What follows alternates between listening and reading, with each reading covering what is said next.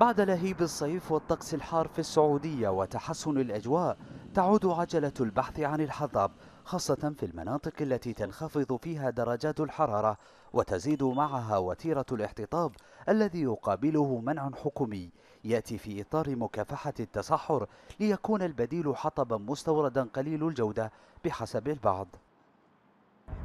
بالنسبة للمستورد ما في مستورد. مستورد يعني مضر ما تشب فيه تقول شاب لك يكفره. ما هو ما هو حطب. ولا ولا في شيء مستورد. المستورد فاحم صومالي أو نص الاستواء ما عاد ما عاد يجي نص الاستواء. أي نعم. رمزية الكرم والجود التي أضحت للحطب لدى كثير من السعوديين ساهمت بانتشار أسواق موسمية لبيعه هو ما يعني للبعض مصدر دخل مربح.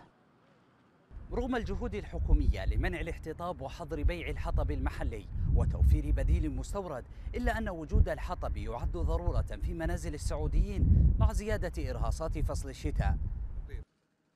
لهيب نار تضيء ليالي السمر الباردة ليصبح الموقد أو المشب كما يطلق عليه السعوديون محور التلاقي في الشتاء وأضحى وجوده ظاهرة اجتماعية لا يكاد يخلو منزل منه. ورغم توفر وسائل التدفئة الحديثة إلا أنه يبقى للحطب المشتعل والجمر متعة وطقوس خاصة.